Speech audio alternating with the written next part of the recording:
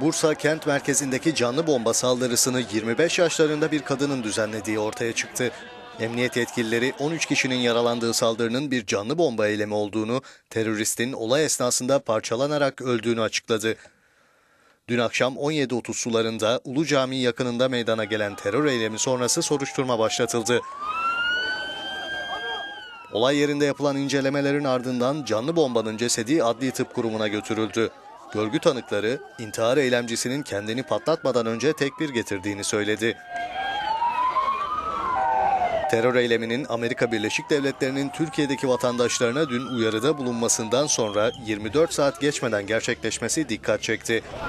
Yaralılardan hiçbirinin hayati tehlikesi bulunmadığı açıklandı. Saldırının failinin ise terör örgütü IŞİD mensubu olduğu ihtimali üzerinde duruluyor.